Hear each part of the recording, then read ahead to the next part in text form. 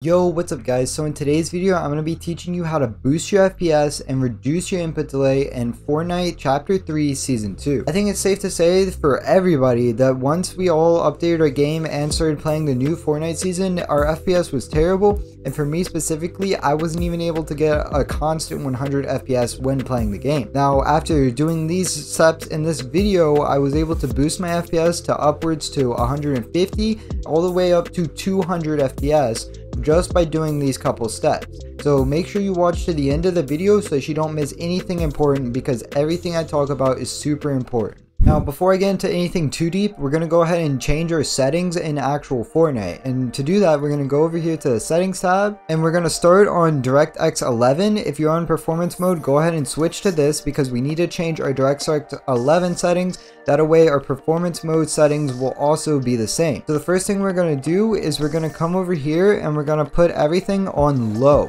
And then we're going to change our 3D resolution to 100. And then we're going to go ahead and keep all that. Fortnite actually added two new settings this season, and that is the new download high resolution textures. You want that off. Then you also want to make sure that high te resolution texture reminders is off as well because reminders are pretty boring and we don't want that on anyway. Then we're going to make sure that everything else is off, VSync off, motion blur off, that's super bad, you don't want that. Show FPS on, and then rendering mode, we're going to go ahead and change it back to performance mode allowing multi-thread multi-thread rendering if you have more than two CPU cores. You can see that by pulling up your task manager. We're going to go over here to performance. We're going to go over here and click on your CPU. It's going to show you how many cores you have right there. Let me go ahead and blow that up for you guys. It's going to show you right there. If you have more than two cores right there, go ahead and use multi-threaded rendering. That's going to boost your FPS quite a bit actually. And then we're going to make sure that we have uh, crash debugging off, latency markers off because those are actually bugged and they don't work at all. And then NVIDIA Reflex low latency, we're going to have that turned on plus boost because that's going to help you out quite a bit. Then hit apply.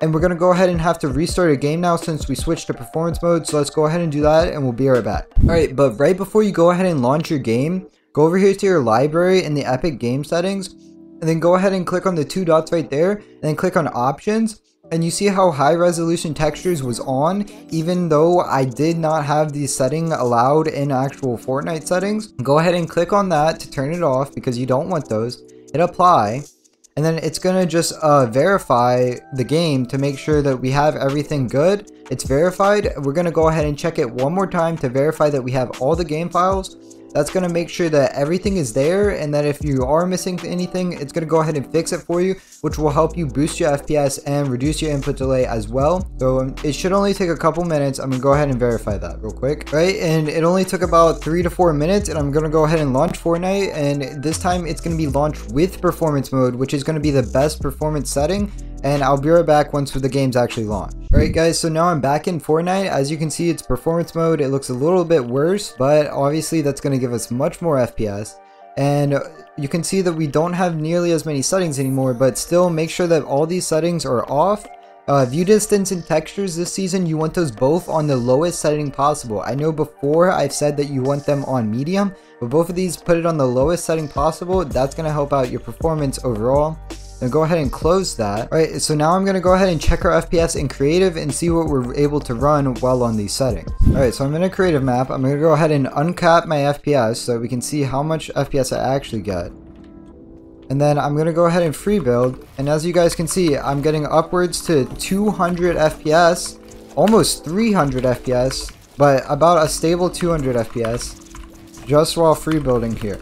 Now, the worst part about this new season is high meshes and low meshes are the exact same thing. Fortnite actually uh, messed up and they actually took out low meshes right now. So you have to play on high meshes, which is going to make your input delay very bad. But they said they're actually working on it and that they're going to try to actually fix it. So as you guys can see, I'm on low meshes, but I have high meshes builds, which kind of sucks. But Fortnite is working on it. They're going to fix it very soon. Now, as you guys can see, my FPS is pretty... Uh, pretty high, but it's not very constant. So there's actually a couple things we can go ahead and do to fix that. And we're going to just close Fortnite for that real quick. So what we're going to do once we actually are on our desktop is we're going to come down here to the little search bar. We're going to type in settings. That's going to open up. And what we're going to do is come over here to our system. We're going to make sure that our notification and actions is off because that's going to give you more FPS. Turn focus assist off as well. And then make sure that you, if you have a battery, it's at 100%. And then storage is also a really important thing. Whatever uh, SSD that you actually have Fortnite on, you want to make sure you have some freed up space. So as you can see here, I have a lot of applications here. I might want to try to go ahead and delete any games I'm not playing or anything like that. So I can go ahead and free up some space for Fortnite to actually be able to run. Now the next thing we're going to do is turn off multitasking because this is going to require more FPS and honestly you don't need it whatsoever. Then we're going to back up and we're going to come over here. We're going to go to gaming and we're going to make sure that our Xbox game bar is off because that records and if you have Shadowplay or any other recording software that's much better than Xbox Xbox Game Bar. You're not going to need that whatsoever. Make sure you go ahead and have captures turned off as well because this is going to record and we don't need that if we have another recording. And then uh, Xbox game mode is actually uh, really useful when it comes to gaming for video games like Fortnite, Valorant, anything like that. This is going to optimize your PC for PC play which is useful and honestly boosts your FPS quite a bit. So once we're done with that, all we have to do while in our Windows settings is go ahead and check for an update. So I'm going to go ahead and check for an update. If there is a Windows update, then I'm going to go ahead and update. Make sure that you do not download Windows 11 because Windows 11 is really bad for your PC and especially with gaming, it's going to lead to many FPS stutters and no smooth FPS whatsoever. Alright guys, and now that I'm all up to date on my Windows updates, I'm going to go ahead and open up GeForce Experience. And this is where I'm going to go ahead and update my NVIDIA drivers for my NVIDIA graphics card. So the best way to do this is just check for an update.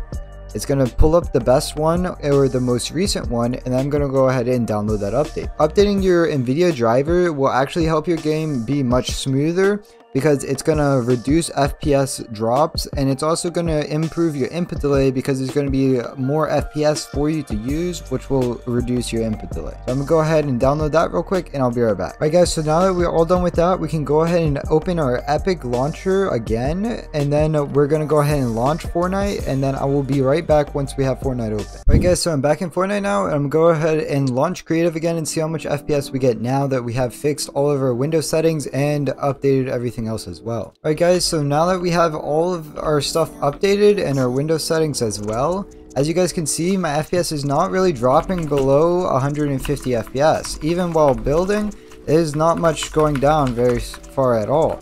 So this is actually the best settings and everything that I recommend you guys to do to boost your FPS as much as possible in the new Fortnite season.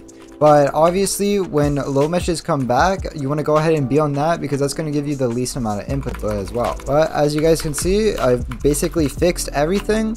But there is one more thing I want to tell you guys, and that is that you basically just need to give your PC time to uh, go ahead and adapt to the new map.